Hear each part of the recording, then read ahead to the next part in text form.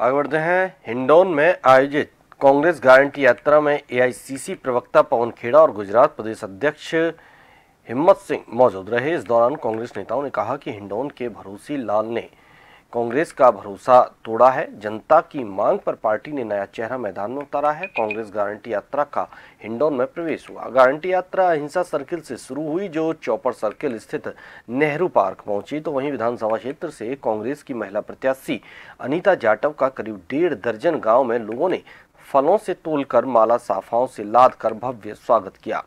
वहीं श्री महावीर जी में भारी पुष्प वर्षा कर स्वागत किया।